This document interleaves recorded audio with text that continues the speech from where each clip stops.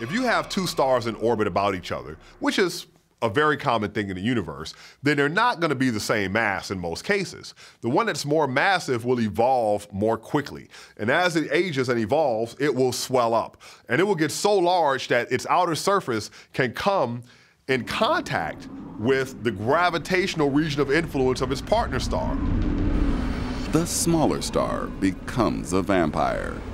It sucks the bloated outer layer of gas from its bigger partner and as the vampire feasts, it burns hotter and hotter, turning a brilliant, youthful blue. The vampire's victim is sucked dry, reduced to a lifeless stellar core known by astronomers as a white dwarf. But, like any good horror movie, this murderous tale has a twist exploding zombies.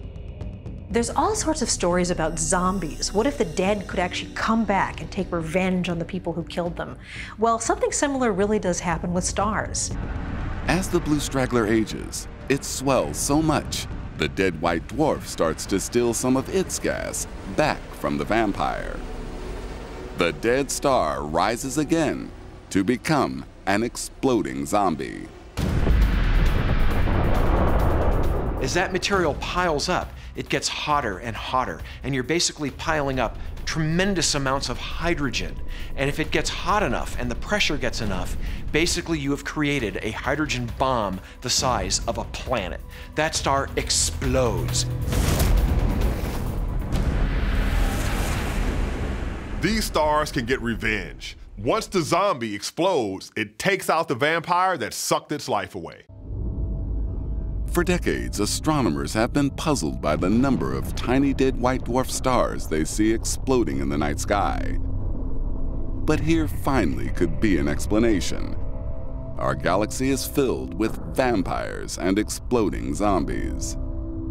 What does that say about the rest of our galaxy? A huge chunk of the stars in our galaxy are sort of stealing life from their friends to stay forever young.